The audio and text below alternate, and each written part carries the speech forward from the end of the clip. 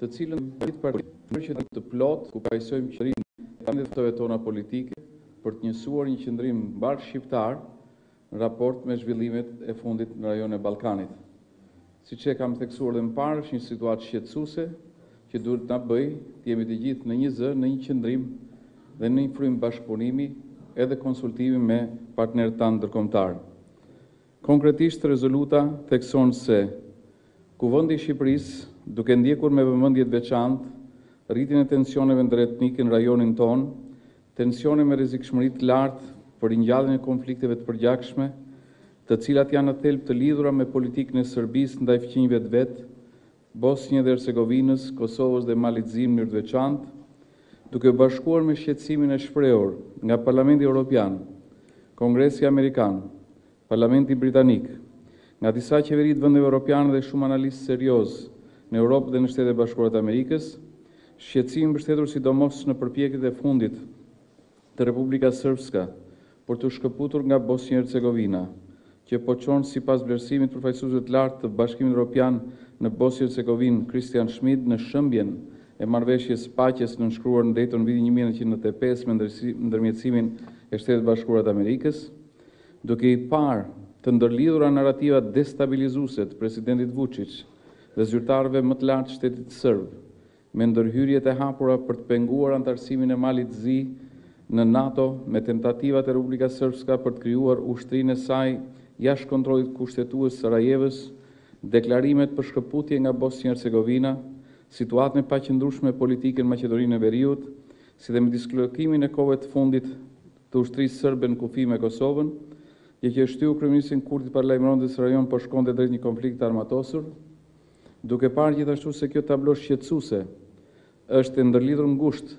me intensifikimin e shumëfishtë të pranisë ruse në rajonin tonë, në zbatim të deklaratës së presidentit Putin se Ballkani është backyard i Rusisë, gjë që në realitet po kryhet përmes mbështetjes ndaj Serbisë për t'u shndërruar në një fuqi dominuese në Ballkanin Perëndimor, si rrugë për ta rritur presionin mbi Uashingtonin e Brukselin, Kuvendi i Shqipërisë, Vendosi, një Të ngarkojë Qeverinë e Republikës së Shqipërisë në këshillim në këshillim me partnerët tanë strategjikë që ta adresojë këtë problematikë urgjentisht në NATO. Dy Nëpërmjet delegacioneve të veta, në Asamblenë Parlamentare të NATO-s, në Asamblenë Parlamentare të OSBE-së, në Asamblenë Parlamentare të Këshillit të Europës dhe institucione të tjera ndërparlamentare, ta shpërndajë këtë rezolutë në këtë Asamble dhe ta bëjë atë objekt debati në të gjitha forumet ndërparlamentare. Tre, i kërkon Qeverisë, si anëtare e përkohshme për dy vitet e ardhshme e Këshillit të Sigurimit në OKB, të përcaktojë qartësisht objektivat për rajonin dhe për Kosovën. Katër, Të shtohet mbështetja për integrimin e Kosovës në Organizatën e Kombeve të Bashkuara dhe në organizata të tjera ndërkombëtare,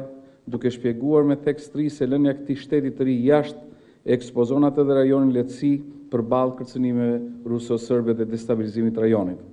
Pesë, Ka ardhur koha të organizohet një forum ndërparlamentar, Shqipëri, Mali Zi, Kosovë, Maqedoni e Veriut me pjesëmarrjen e të gjitha forcave politike parlamentare shqiptare. Këtë projektrezolutë do ta dorëzojmë sot në kryetares së Kuvendit dhe shpresoj dhe besoj që do të gjejë mirëkuptimin e të gjitha forcave politike parlamentare, duke parë edhe vullnetin e shprehur në Kuvendin e Shqipërisë nga përfaqësuesit e forcave politike gjatë seancës së kaluar. Kjo ishte deklarata. Në qoftë se ka ndonjë pyetje në rreth deklaratës?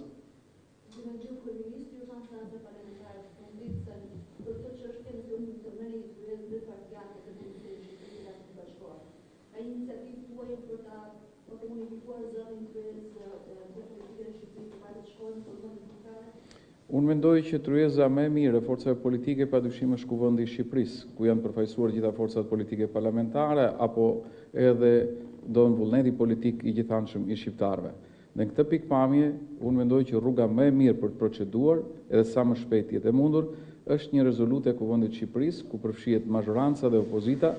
dhe siç e thashë edhe në fillim, jam tërësisht i hapur për vlerësime, ndryshime, por në thelb synojnë që ne të kemi një qëndrim të përbashkët në raport me këtë çështje. Kam dëgjuar që, domethënë, edhe vlerësime të ndryshme rreth situatës, që nuk jemi në prag lufte dhe unë shpresoj dhe besoj që nuk jemi. prag lufte, por besoj dhime, duhet të hapë të prerë në këtë çështje, dhe duke qenë vend anëtar i NATO-s, mendoj që kemi detyrën e parë për ta shtruar në NATO, duke qenë një kuvend i cili në asambletë parlamentare përfaqësohet me vullnet të dyja palëve, pozitë dhe opozitë, ne duhet të kryejmë rolin tonë si deputetë në diplomacinë parlamentare, Për më tepër, besoj që është shumë e rëndësishme se për sa kohë jemi pjesë e forumeve ndërparlamentare nga më të ndryshmet, të Mesdheut, të iniciativave të Detit Zi e kështu me radhë, duhet të ketë një iniciativë ndërparlamentare besoj edhe ndërmjet forcave politike shqiptare në rajon, për të koordinuar qëndrimet, veprimet dhe njëkohësisht për të nxitur qeveritë për të bërë atë që është më e mira në shërbim të interesit tonë kombëtar.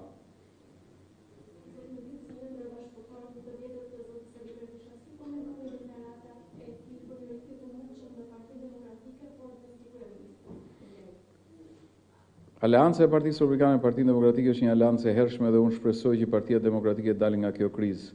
Vlera e Partisë Demokratike qëndron në të gjithë ata që kanë themeluar Partinë Demokratike, kanë qenë pjesë në nivel lokal, qendror, në parlament, në aktivitetin politik të Partisë Demokratike dhe padyshim të jetë e hapur për një sinergji të re me njerëz të rinj në Partinë Demokratike. Partia Demokratike nuk është thjesht vetëm e Partisë Demokratike, por është një vlerë e shoqërisë shqiptare. Dhe në këtë pikëpamje mendoj që është e rëndësishme që të përcaktohet qëllimi dhe zgjidhja e këtij qëllimi. Dhe ka rrugë për të gjetur mirëkuptim, për ta